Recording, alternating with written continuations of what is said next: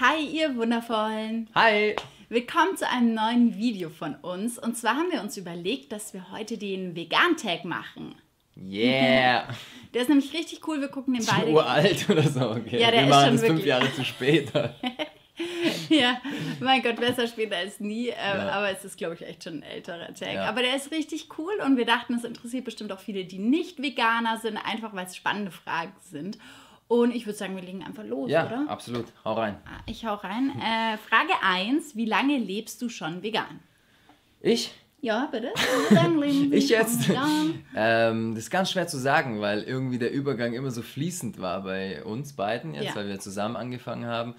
Ähm, ich würde so sagen, ein bis zwei Jahre. Ja, also ich würde auch sagen, vor zwei Jahren haben wir wirklich angefangen, ähm, äh, ja, Fleisch wegzulassen, nach und nach. Wir haben immer noch ab und zu Fleisch gegessen, aber haben es damals schon weggelassen ähm, zu Hause. Und dann kam irgendwann die Milch dazu und der Käse und so weiter. Und jetzt ist es halt Das so. wir weggelassen haben. Genau, das wir weggelassen haben. Ja. Es kam nicht dazu. Und äh, jetzt ist es so, nur damit ihr Bescheid wisst, wir sind keine hundertprozentigen Veganer. Wir essen zu Hause vegan und auswärts, je nachdem, wenn es was Veganes gibt, vegan und wenn nicht, dann halt vegetarisch. So. Ich habe es mal ausgerechnet, ähm, wir sind genau 88 Prozent. 88 Prozent. 88% vegan, ja. Ja, so 90 Prozent. 90 Prozent vegan. Ja, also so würde ich es auch sagen, genau. Okay. Ähm, dann, kleinen Moment, jetzt ausgegangen, jetzt hier. Nummer zwei, wie steht deine Familie, dein Freundeskreis zum Thema vegan? Äh, kann ich ja mal anfangen Ja. vielleicht. Also meine Familie, ähm, ist, da ist niemand vegan und da ist auch niemand vegetarisch. Das sind alles wirklich Fleischesser, die viel Fleisch essen. Und ich bin prinzipiell auch so aufgewachsen, mochte aber Fleisch noch nie. Und ja, wie stehen Sie dazu? Sie lassen mich mein Ding machen. Ich belehre Sie jetzt aber auch nicht ständig irgendwie. Ähm, ja, und ich denke mir halt, sie sollen halt sich ernähren, wie sie wollen und wie sie es für richtig finden. Natürlich finde ich es manchmal schade, weil ich mir denke, Mensch, es ist einfach nicht gesund und ich will natürlich, dass meine Familie lange lebt und lange gesund ist. Aber trotzdem sind es eigenständige Menschen, ne? Ja. Und trotzdem müssen die für sich ihre Entscheidungen treffen. Und deswegen, ja, also sie stehen so dazu, dass sie mich einfach machen lassen. Ja. ja, bei mir ist es auch so. Also meine finden es super. Meine Familie lebt eigentlich eh überwiegend vegetarisch. Also das war schon immer so. Meine Mutter war sehr früh schon, da war ich jung, war sehr, sehr jung. Nein, so alt bin ich ja gar nicht. Ähm, die war schon sehr früh auf dem Ökotrip. Haben gesagt, meine Mama ist auf dem Ökotrip. Nee, aber ähm, Ja, das war bei mir gar nicht so mit Öko, gar nicht. ja. Ja.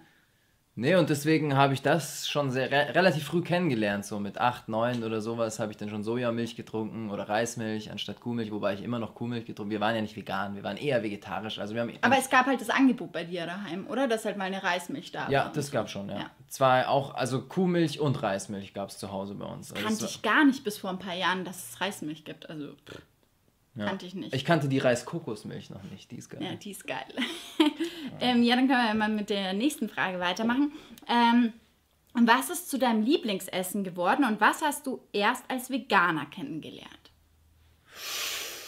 Lieblingsessen, huh, ist schwierig, weil es gibt immer sehr, sehr viele. Also Lieblingsessen. Hm. Also unter Lieblingsessen verstehe ich, es soll gut schmecken, es soll schnell gehen, es soll ähm, gesund sein, würde ich Bei jetzt der sagen. Flammkuchen letztens, der war schon geil, oder? Ja, vielleicht ein bisschen mehr Priorität hat lecker. Also- Also, Flammkuchen, oder Burger. Burger, ich Ja. meine, so ungesund. Ungesund ist es ja jetzt eigentlich gar nicht. So ein Burger, wenn der jetzt so aus Linsen gemacht ist, anstatt ähm, aus Anstatt- Tofu zum Beispiel, dann hast du ja eine super gute Proteinquelle. Ja, aber selbst aus Tofu, wenn man ihn jetzt nicht jeden Tag isst, ist es ja sehr in Ja, Ordnung. Ähm, das Brötchen halt, aber mein Gott. Also ich würde auch so sagen, die Sachen mag ich, mag ich gerne. Oder unsere käsefreie Käsesoße. Da hat Matthias Ja. mal für mich gekocht. Ich verlinke euch das mal hier oben und in der Infobox. Richtig, richtig lecker, könnte ich ständig essen und das ist auch gar nicht ungesund. Und ähm, Alle, überhaupt alle Gerichte mit Käse irgendwie, so den guten ja, Käseersatz Käseersatz, haben. ja. Ja. Das ist schon was Feines. klasse. Und ähm, dann noch die Frage, was hast du erst als Veganer kennengelernt? Also in meinem Fall sehr, sehr viel, weil ich ja davor mich überhaupt nicht damit befasst habe, mich damit überhaupt nicht auskannte. Also diese ganzen Pflanzenmilchprodukte. Tofu habe ich davor nie, nie, nie gegessen. Mittlerweile weiß ich halt, wie man ihn gut zubereitet, deswegen gibt es ihn ab und zu. Ähm, Zwergenwiese-Aufstriche, pflanzliche Aufstriche, das sind alles Sachen, die ich davor nicht gekannt habe. Eigentlich Mhm. war für mich so ziemlich alles neu. Ja, nee, für mich eigentlich auch. Es gibt so viele neue Sachen immer wieder zu entdecken und es wächst ja auch äh, tagtäglich das Angebot. und es ist spannend zu erleben, was es da immer wieder Neues gibt. Also ich probiere mich da total gern aus. Auch wenn es mal jetzt äh, nicht das Allergesündeste ist oder sowas, aber ich probiere mich einfach wahnsinnig ja, gerne ich auch, aus. voll. Ähm, wo kaufst du deine Lebensmittel? Äh, Ja, wir kaufen sie zusammen im Vitalia und im Aldi und ähm, manchmal noch auf dem Markt, da kriegen wir oft was geschenkt. Sachen, die schon fast Ja, das sind. geht super gut. Also einfach fragen. Ich glaube, die Leute freuen sich teilweise extrem Genau. darüber, wenn sie gefragt werden, ob sie was von ihrer Ware umsonst abgeben, wenn der Oder für einen halben Preis fragen wir immer und dann schenken sie es uns meistens. Ja, genau. Das, eigentlich ist eigentlich ganz ganz gut. Aber natürlich kurz bevor der Markt schließt. Also Genau. dann, dann sind sie echt sehr gewillt, Ja. Einem was zu geben. Ja. So eine Erfahrung haben wir jetzt gemacht. Und ab und zu gehen wir noch ins Vegans, weil da halt einfach alles vegan ist und die auch besondere Sachen haben. Das machen wir jetzt nicht oft, aber ich finde, jetzt könnte man eigentlich mal wieder. Wir waren Ja, wobei ich habe gehört, mehr. er soll zugemacht haben. Ja. Was? ja, ja, also ich weiß es noch nicht sicher. Nee, das Ich hoffe das muss nicht. Ich googeln. Ich google es gleich. Auf Ja. jeden Fall, falls nicht, dann müssen wir da auf jeden Fall hingehen. ja, ja, Ähm, jetzt, wenn wäre dann vor kurzem. Ähm, und dann äh, gab es Rückschläge, Heißhunger oder vermisst du etwas? Äh, also Rückschläge, da kann ich, glaube ich, für uns beide sprechen. Das gab es jetzt bei uns nicht so, weil wir ja nie hundertprozentig vegan wurden und deswegen nie diesen Druck hatten und nie dieses, oh mein Gott, ich habe jetzt einen Rückschlag gehabt, weil ich jetzt einmal irgendwie Feta gegessen habe im Salat oder so. Das gab es halt bei uns nie, Ja. was ich sehr entspannt finde und was ich vielen auch ähm, empfehlen kann, die sich noch nicht sicher sind. Ey, esst einfach vegan und macht ab und zu Ausnahmen, ist gar kein Problem. Gibt es da nicht diese, diese Rückschläge immer so im bösen Ja. Sinne so und das demotiviert und Genau. so und dann wird es irgendwie so ein Zwang, der keinen Spaß macht und so. Und ich glaube hinterher, äh, langfristig gesehen, ähm, ist es dann nicht aus durchzuhalten. Genau. Also Außer ihr habt wirklich mega Bock drauf und sagt, ja, das ist es und das will ich sofort und für immer und so, okay. Aber wenn ihr wirklich sagt, so Mensch, wegen der Gesundheit und den Tieren, aber euch fällt es eigentlich schwer, weil euch eigentlich alles schmeckt, dann macht's halt langsam. Also, Ich habe auch immer mehr Bock drauf gekriegt. Also desto mehr ich mich damit Ja, befasst habe, ähm, desto mehr haben mir vegane Sachen geschmeckt und desto weniger hat mir, mir Fleisch, Milch, Käse und sowas ja. geschmeckt. Und am Also- Anfang haben wir auch öfter mal nochmal gesagt, ja komm, jetzt äh, kommt Besuch, lass Eier und Milch einkaufen, irgendwie um Kuchen zu backen. Und es wird immer, also das gibt es jetzt eigentlich gar nicht mehr. Ähm, ja, also von dem her, lasst euch da Zeit. Und vermisst du etwas? Das finde ich eine spannende Frage, weil ja, ich muss schon sagen, dass ich was vermisse. Also ähm, ich vermisse ganz oft Feta. Ich finde Feta unglaublich geil. Und ab und zu esse ich dann auch Feta und dann ist auch wieder gut für eine lange Zeit. Also letztens hatte ich einen Feta eingekauft und jetzt ist er erstmal wieder gut. Ähm, und was vermisse ich noch? Oh ja, Bacon. Also ich mag Bacon. Ich mag kein Fleisch und mochte noch nie wirklich Fleisch, aber Bacon. Schnitzel finde ich nicht so schlimm, weil da gibt es ganz gute Alternativen. Und was mochte ich noch immer gern? Ah ja, so die Haut so vom Hühnchen oder so, wenn die knusprig ist. Muss ich ganz ehrlich sagen, finde ich geil, aber esse ich halt nicht mehr. mein Gott, also ist das auch nicht so dramatisch. Also ich vermisse eigentlich gar nichts, so kommt es mir vor. Also ich, ich weiß nicht, ich, wenn ich mich jetzt so an, an Fleisch oder wenn dann Käse noch hin und wieder, aber da gibt es ja so gute vegane Alternativen. Ähm, vegane Käsesoßen, ähm, können wir euch Ja. vielleicht auch mal was verlinken. Ja. Ja, genau. Ähm, wenn dann das, aber sonst vermisse ich eigentlich auch nichts. Ja, also ich vermisse auch wirklich nur den Geschmack. Wenn ich dran denke, was es ist, dann habe ich auch keinen Bock mehr drauf. Aber nur damit ihr wisst, so, ja, genau. Ähm, verwendest du vegane Kosmetik? Das kann ich beantworten. Nicht ausschließlich. Natürlich ist was Veganes dabei, das ist ganz klar. Aber ich achte aktuell nicht so drauf. Ähm, es gibt ja auch vegan und tierversuchsfrei, das muss man auch nochmal unterscheiden. Ähm, aber das ist auf jeden Fall ein Ziel von mir. Also es ist ein Ziel von mir, dass ich mehr tierversuchsfreie und mehr vegane Kosmetik oder ausschließlich sogar benutze. Aber das ist halt auch ein Prozess wie mit der Ernährung und ich setze mich da nicht so unter Druck. Ich weiß, manche denken, ja, äh, Ganz oder gar genau, nicht. Ist überhaupt nicht meine Einstellung. So. Ähm, genau. Dann verwendest du Zusatzpräparate, B12 zum Beispiel. Vitamin B12 oder Vitamin D. D.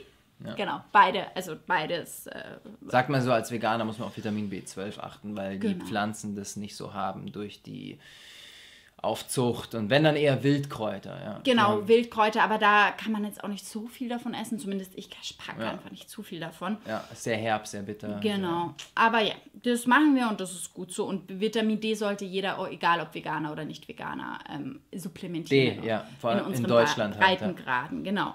Dann äh, hast du Haustiere? Nein. Nein, hätten wir aber gerne. Ja, du mehr, glaube ich, als ich. Ja, ich will einen Hund. Hund. Gut, gut, gut. Eine Jule, ne? Eine Jule. Er nennt jeden Hund Jule. Ja, Das ist süß. und dich auch manchmal. ähm, Nee, ja, okay. aber leider nicht, aber kommt irgendwann bestimmt. Also wir sind beide sehr tierlieb und. Gucken wir mal, ja. ja. Ähm, Schauen wir mal. Konntest du Veränderungen an deinem Körper feststellen? Verringerte Erkältungen, Hautbild, Allergien? Ich jetzt? Ja.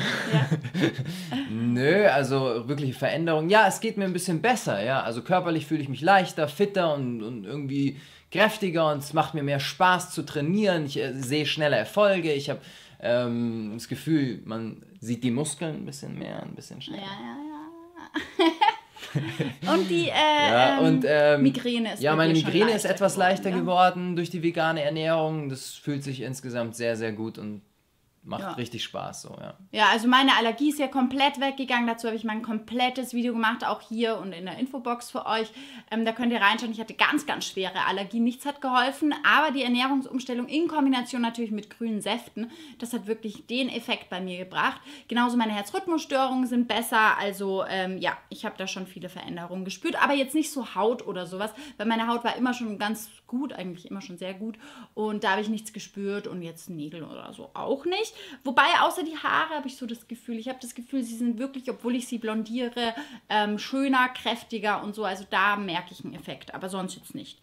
Genau, dann, ähm, wie alltagstauglich ist vegan? Ja, sehr, finde ich. Also es wird auch Mhm. Ja? immer mehr und ja, schon. Also Aber ich finde es nicht opti also nicht total alltagstauglich. Also die normale Ernährung ist schon alltagstauglicher, wenn man davon ausgeht, dass man überall irgendwas kaufen kann, wenn man gerade Lust hat. Aber natürlich, ähm, ja, es, es wird mehr. genau, es ist, man kriegt eigentlich immer was, nur man muss halt sich zum Beispiel beim Bäcker die Zutatenliste geben lassen oder so, um das abzuchecken. Ähm, das könnte halt für manche ein bisschen aufwendig sein. Deswegen, das ist auch mit ein Grund, warum ich jetzt unterwegs auch einfach dann auf vegetarisch zurückgreife oder denke, ja, mein Gott, dann ist da jetzt Milchzucker drin oder irgendwas. Egal, so. Ähm, aber es gibt ja viele, die da sehr strikt sind und da muss man sich einfach informieren. Aber es ist absolut heutzutage schon machbar. Ist, ist gar kein Problem. Mm, Und jetzt das letzte. Ergänze den Satz vegan sein ist Vegan sein ist vital. mega geil. Ja, auf den Punkt gebracht, mega geil. Äh, vital, macht Spaß, es äh, erfüllt einen, ähm, gerade durch das Bewusstsein, ähm, dass man seinen einen positiven Beitrag ähm, zur Welt beiträgt. Beiträgt. beiträgt, ja, genau. Äh, gerade dieses Bewusstsein macht richtig Spaß. Also vegan macht Spaß und fühlt sich Ja. leicht und kraftvoll an. Also für mich ist vegan sein ist yummy. es ist einfach lecker, es schmeckt mir, es schmeckt mir besser, weil ich noch nie Fleisch mochte und so. Von dem her, ich finde es einfach lecker. Also das, ja, vegan ist lecker und das glauben viele nicht, aber es ist also wirklich so. Es ist absolut so. Ja. Ja. So ist es. Das kann ich bestätigen. Ja, es ist wirklich so. Auf jeden Fall, das war die letzte Frage. Genau, dann verabschieden wir uns Ja. und Wir hoffen, es hat euch gefallen. Ähm, vielleicht wollt ihr ja den Satz vegan sein ist in die Kommentare schreiben. zipp. Genau, beantwortet doch mal den oder vervollständigt den Satz. Äh, gebt uns gerne Feedback und bis zum nächsten Mal. genau, bis dann. Ciao. Tschüss.